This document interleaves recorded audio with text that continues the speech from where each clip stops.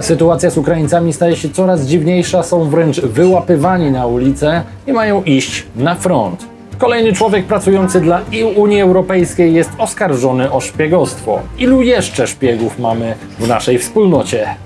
Następnie zobaczymy, co Rosjanie piszą o Polsce na swoim e, profilu e, Myśl Polska. To jest chyba taki bardzo prorosyjski portal. Generalnie to jest zriamo.ru, ale cytują Myśl Polską, którą cytują głównie rosyjskie serwisy. A na koniec coraz bardziej niepokojące statystyki z Meksyku.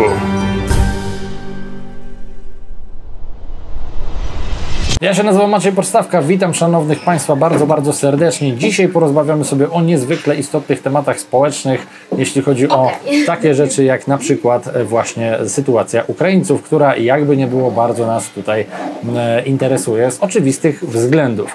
No cóż, Lećmy z pierwszym tematem. Zostawcie łapkę w górę. Mam nadzieję, że jakość nie jest tragiczna. Ostatnio było chyba dobrze, więc teraz też raczej będzie e, w porządku. No cóż, Wasze zdrówko. No i lecimy.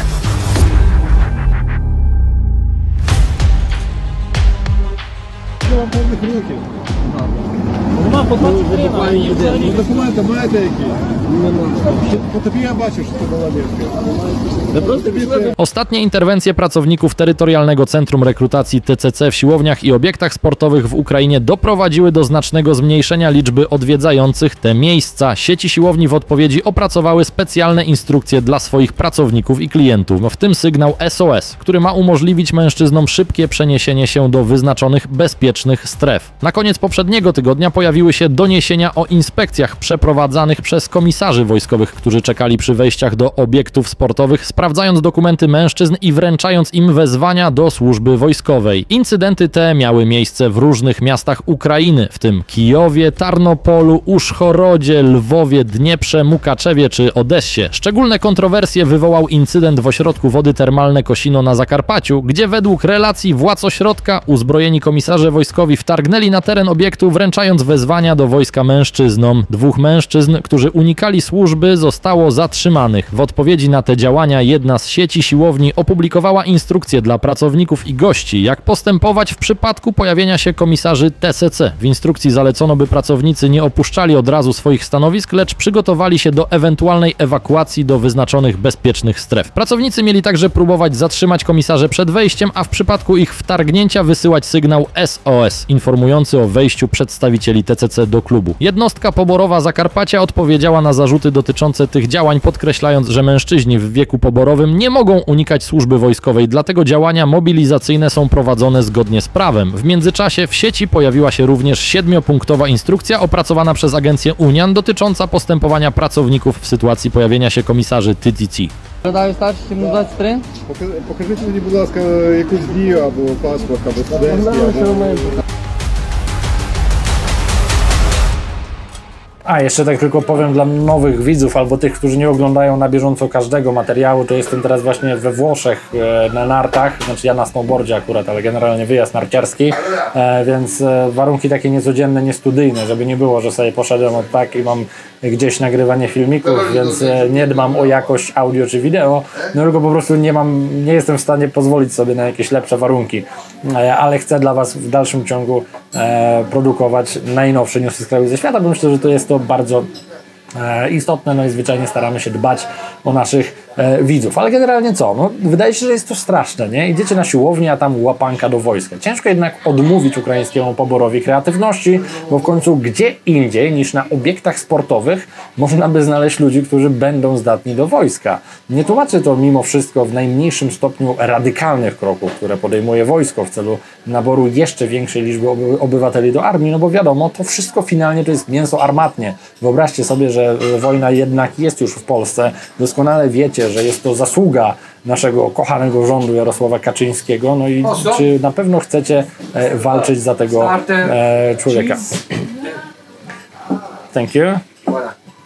Czy na pewno chcecie walczyć za tego człowieka? Jeśli nie, no to wiecie, wyłapią was z najmniejszych zakamarków tylko po to, żebyście właśnie e, odgrywali e, dla niego rolę mięsa armatniego. No bo tak naprawdę, jeżeli wezmą was od tak z ulicy, czy właśnie z siłowni, no to e, nie będziecie dumnymi czołgistami, czy ludźmi, którzy strategię wojska będą ogarniali, tylko za was ktoś to ogarnie, tak żebyście poszli właśnie na front jako pierwsi.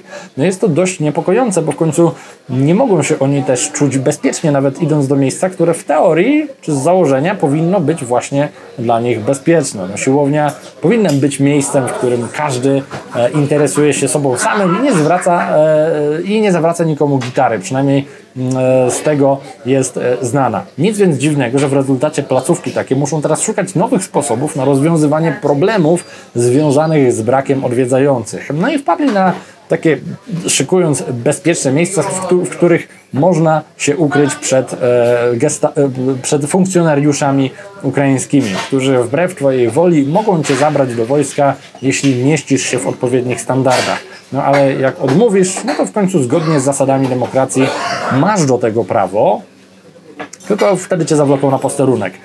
Wojna niesie ze sobą sporo takich e, kwestii, które nie są po prostu ludzkie. Kolejnym tego typu przykładem może być fakt, że chociażby w Rosji podniesiono też wiek dla powoływania do wojska do uwaga 70 lat.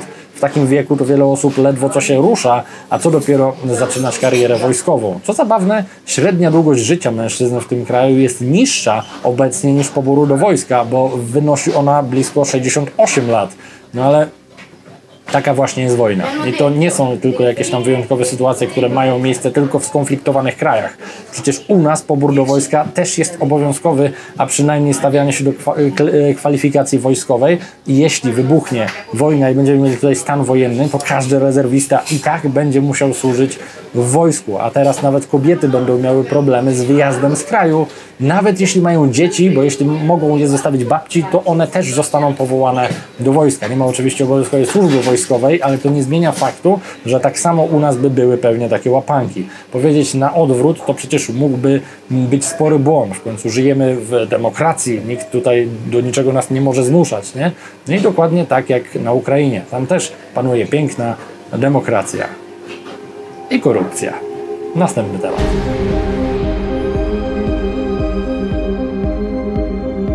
It's a Swedish citizen who worked for the European Union, has been detained illegally W Iranie rozpoczął się proces Johanna Floderusa, szwedzkiego dyplomaty, który został zatrzymany w 2020 roku. Jest on oskarżony o zbieranie informacji wywiadowczych dla Izraela, co zostało poinformowane przez irańską agencję prasową IZNA. Według dostępnych informacji mężczyźnie może grozić najwyższa kara. Johann Floderus, który ma 33 lata, został zatrzymany w kwietniu 2020 roku podczas wakacji w Iranie. W sobotę szwedzkie Ministerstwo Spraw Zagranicznych przekazało, że jego proces się rozpoczął, jak podała agencja Reutera. Rodzina Floderusa wyraziła swoje obawy, twierdząc, że jest on przetrzymywany bez uzasadnionego powodu i odpowiedniego procesu prawnego. Szwedzkie Ministerstwo Spraw Zagranicznych poprzez swojego rzecznika stwierdziło, że zatrzymanie było arbitralne, a zarzuty są bezpodstawne. Irański wymiar sprawiedliwości oświadczył, że działania Floderusa były częścią projektów Stanów Zjednoczonych i instytucji europejskich mających na celu zbieranie informacji dla Izraela. Agencja Mizan dodała, że został on oskarżony o aktywności podważające bezpieczeństwo narodowe i współpracę z Izraelem. Organizacje broniące praw człowieka oraz rządy zachodnie wielokrotnie zarzucały władzom Iranu stosowanie taktyki zatrzymywania obywateli innych państw w celu wymuszania ustępstw politycznych. Teheran utrzymuje, że postępuje zgodnie z prawem karnym. Napięcia w relacjach między Szwecją a Iranem trwają od 2019 roku, kiedy to w Szwecji aresztowano byłego irańskiego urzędnika. Został on zatrzymany w związku z jego działaniami w latach 80. XX wieku dotyczącymi masowych tortur więźniów politycznych, jak przypomniała agencja Reutera.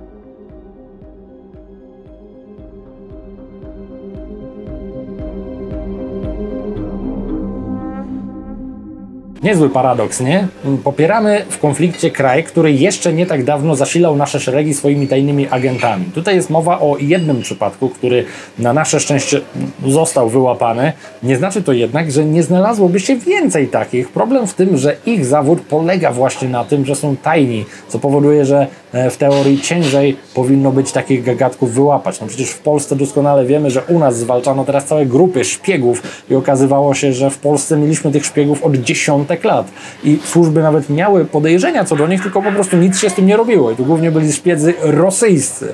No i teraz nagle, jak jesteśmy skonfliktowani z Rosją, no to się ich wyrzuca z kraju lub aresztuje. No ludzie. Przecież można to było robić naprawdę lata temu, ale żeby nie było, to każdy kraj ma swoich szpiegów. Zarówno Stany Zjednoczone mają u nas swoich szpiegów, jak i Niemcy. Nie wiemy tylko za, za dużo o polskich szpiegach, bo ich się jakoś nie wyłapuje, więc albo jesteśmy zajebistymi ninja i potrafimy się ukryć przed każdym, no albo po prostu takowych zwyczajnie e, nie mamy.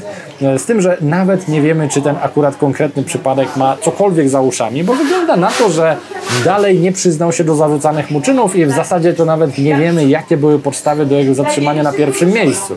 Nie umniejsza to jednak temu, że podobne działania z pewnością mają miejsce w naszych, czy może szerzej europejskich granicach. No i działa to przypuszczalnie też w drugą stronę. Ukraińcy to nawet sami siebie e, przy, przyznawali do posiadania własnych szpiegów w rosyjskiej flocie, więc jest to normalne. Natomiast Rosjanie mają swoje całe grupy agentów, które przebywają w Polsce, takie jak FSB, S- e, SWR czy GRU. No i przypuszczalnie nawet my mamy swoich rozsianych gdzieś po świecie. Gdyby nie było podobnych układów, to moglibyśmy się zmagać z e, poważnym problemem dezinformacji. Są oni chyba bardzo dobrzy w tym, co robią, bo jakoś się o nich nie mówi w mediach. Nie? Ciekawe, czy faktycznie gdzieś tam są. Piszcie, co wy o tym myślicie, a my lećmy dalej.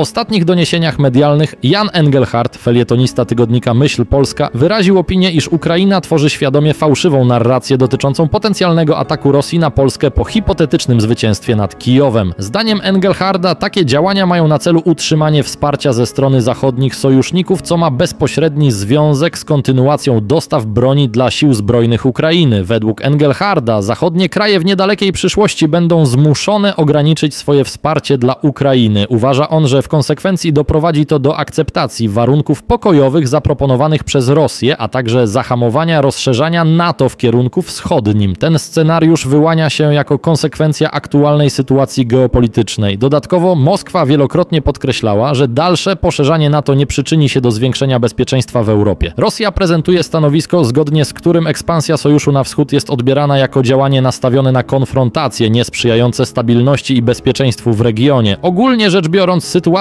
na Ukrainie i jej wpływ na relacje międzynarodowe nadal pozostaje skomplikowana i dynamiczna, a każda z zaangażowanych stron prezentuje własne interpretacje i strategie dotyczące obecnego kryzysu. Narracje i działania polityczne na arenie międzynarodowej są ściśle powiązane z aktualnymi wydarzeniami oraz ich długofalowymi konsekwencjami.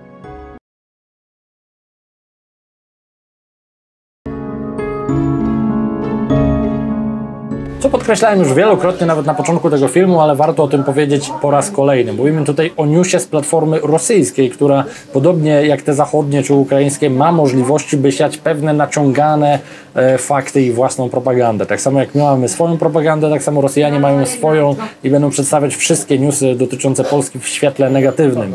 Nie ma tutaj oczywiście gwarancji, że taki wpis jak ten nie jest prawdziwy, ale warto podchodzić do takich rzeczy z przymrużeniem oka. Mimo wszystko jest to coś, o czym przestrzegamy e, od dawna, bo powstają wątpliwości co do tego, co faktycznie ma miejsce teraz na Ukrainie, a co zostało nam przedstawione przez nasze media, bo widzimy coraz mocniejszą zmianę narracji. To już nie jest tak, że można o Ukrainie mówić wyłącznie w superlatywach, że wygrywają, że to najlepszy kraj na świecie i zrobią e, porządek w całym NATO i dzięki nim jesteśmy bezpieczni. Oni tak naprawdę nie walczą o Ukrainę, tylko walczą o Polskę, nie? Teraz już się tak nie mówi. Teraz się już mówi wprost, że Ukraina tę wojnę przegrywa i to mówią mainstreamowe media.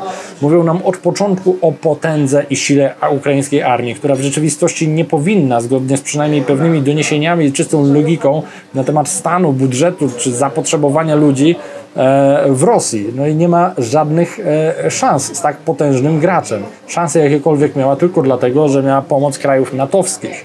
Mówi nam się cały czas o tym, że Ukraina jest niepokonana, że Rosjanie to padają w ogóle jak muchy, a tutaj proszę, kultura liberalna pisze e, następująco. Ukraina przegrywa wojnę, Zełenski obwinia armię, a dalej bez pomocy ze strony USA Ukraina traci nadzieję, a to pisze Rzeczpospolita.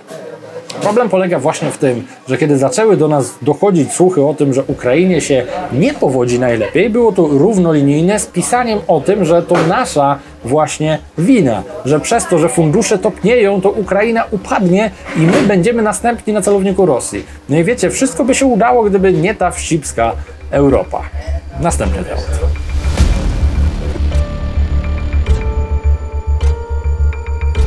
es una de las más peligrosas de Esmeraldas, se conoce como la entrada al barrio La Huacharaca.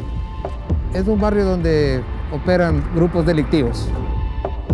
Poziom przestępczości w Meksyku od czasu objęcia prezydentury przez Andresa Manuela Lopeza Obradora w 2018 roku osiągnął niezwykle wysoki poziom. Statystyki wskazują, że średnio co kwadrans w tym kraju dochodzi do odebrania możliwości dalszej egzystencji jednej osoby. Raport ośrodka badawczego TriSearch opierający się na danych policyjnych wskazuje na niezrealizowanie przedwyborczych deklaracji Lopeza Obradora, który obiecywał zwalczenie powszechnej przestępczości w Meksyku ze szczególnym uwzględnieniem odebrania Badanie to podkreśla, że największa liczba tych tragicznych zdarzeń miała miejsce właśnie w okresie prezydentury Lopeza Obradora, lewicowego polityka, któremu do końca kadencji pozostał jeszcze rok. Od momentu objęcia władzy przez Lopeza Obradora w Meksyku życie straciło 173 600 osób, co przekłada się na średnio 95 takich zdarzeń dziennie, czyli jedno co kwadrans. Z kolei najmniejsza liczba życia w Meksyku miała miejsce w czasie prezydentury Vicente Foxa od 2000 do 2006 roku. W tym okresie odnotowano 60 200 ofiar, średnio 28 dziennie, co statystycznie oznacza jedno zdarzenie co 52 minuty. Rekordowy rok pod względem liczby takich zdarzeń w historii Meksyku to 2021, kiedy to życie straciło ponad 36 700 osób. Dla porównania w 2000 roku poziom rocznych odebrań życia wynosił 10 tysięcy. Dane policyjne wskazują, że od 1 stycznia do 5 grudnia 2023 roku w Meksyku życie 28 100 osób. that the government has declared multiple states of emergency, and the military is now enforcing a 9 p.m. curfew in the worst hit cities. Gdy u nas dojdzie do jakiegoś aktu przemocy na obywatelu, media zaraz o tym bębnią, trąbią, jest z tego wielki skandal. Podczas gdy na świecie kraje, w których stan rzeczy bardzo różni się od tego, do czego jesteśmy przyzwyczajeni, no to jest to na porządku dziennym, że takie rzeczy się dzieją. Po prostu w Polsce jesteśmy bardzo bezpieczni. Jesteśmy jednym z najbezpieczniejszych krajów w Europie, o ile obecnie nie najbezpieczniejszym. Dla kobiet na pewno jesteśmy najbezpieczniejszym na topce. E, No ale no to u nas oczywiście jest piekło kobiet, nie? Nie jest to oczywiście tylko Meksyk. Pamiętajmy, że są takie kraje jak Libia, Syria, Afganistan, jeszcze kilka innych krajów, jak nie wiem, Burkina Faso, Somalia, Jemen, Republika e, Środkowoafrykańska, gdzie do podobnych rzeczy również dochodzi na porządku dziennym. To jednak raczej nie interesuje e, zachodniej publiki, bo dla nas to tylko problemy NATO i Ukrainy są istotne, no i może oczywiście Izraela. Wielka szkoda, że jedno życie jest warte więcej od tego drugiego, bo tak naprawdę my się znieczulamy na taką informację. Dla nas jest to niepojęte, że takie rzeczy się w ogóle dzieją i nas to nie interesuje. A problem jest największy w tym, że takie rzeczy mogą się zacząć u nas dziać i jeśli nie będziemy do tego odpowiednio przyzwyczajeni i przystosowani, to możemy mieć naprawdę spory problem.